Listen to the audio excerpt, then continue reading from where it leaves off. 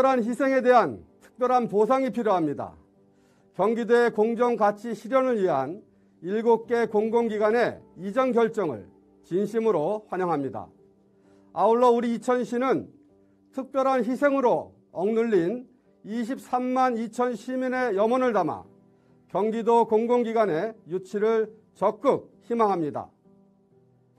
경기주택도시공사, 경기도 경제과학진흥원, 경기신용보증재단까지 대형 공공기관의 이전으로 지금 이 순간에도 특별한 희생을 감내하고 있는 우리 이천시를 비롯한 규제 지역들은 실질적인 지역 발전의 기틀을 쌓고 경기도는 진정한 공정가치 실현에 방점을 찍게 될 것입니다.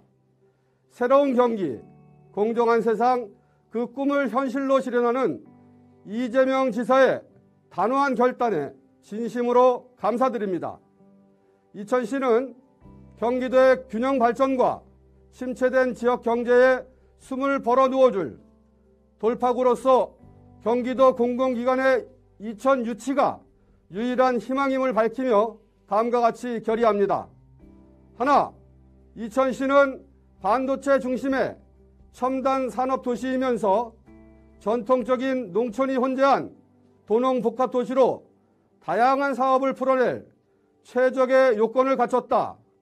또한 경기도와 지방을 잇는 교통 허브 도시로서 마땅히 공공기관 이전의 주인공이 되어야 할 최고의 적합지이다.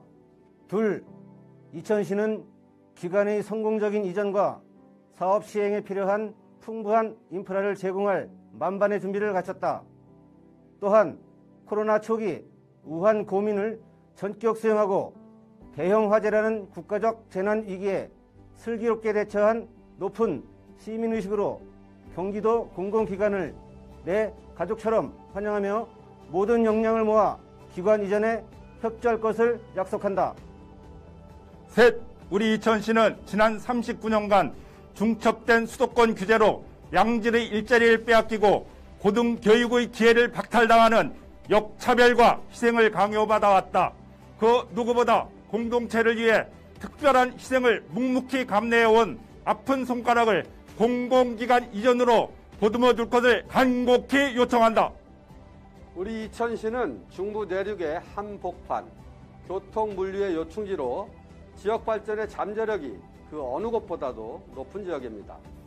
그러나 2,500만 수도권 주민에게 맑은 물을 공급해야 한다는 이유로 환경 규제, 수도권 규제 등 2중, 3중의 중첩된 규제로 양질의 일자리를 빼앗기고 고등교육의 기회를 박탈당하는 역차별과 희생을 강요받아왔습니다.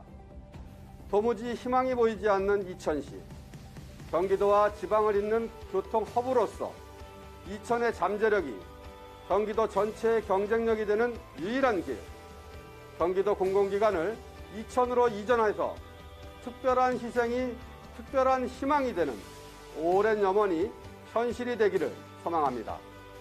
이천시는 공공기관 유치를 위해서 이천시, 이천시의회, 이천시 지역구 경기도 의원과 연대해서 결의문을 채택하였습니다.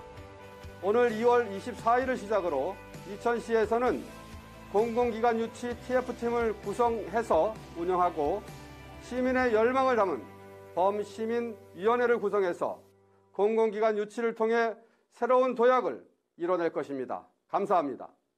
경기도 공공기관을 이천으로 이천으로 이천으로